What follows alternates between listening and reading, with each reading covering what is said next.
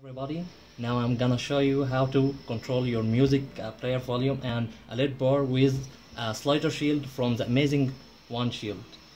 In the hardware we have connected the 1Sheeld over the Arduino board and we have taken 10 control uh, lines to the LED bar and uh, all the LED bar grounds we I have connected it to one line and connected it to the ground of the 1Sheeld.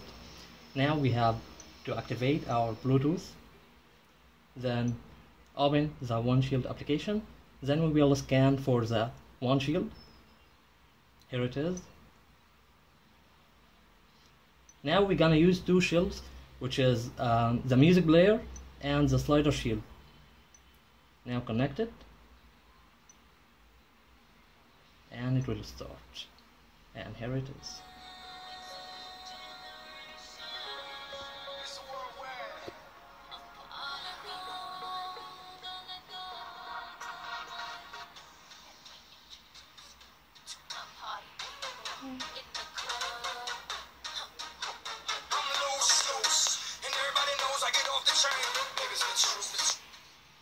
Hope you like the project and support us.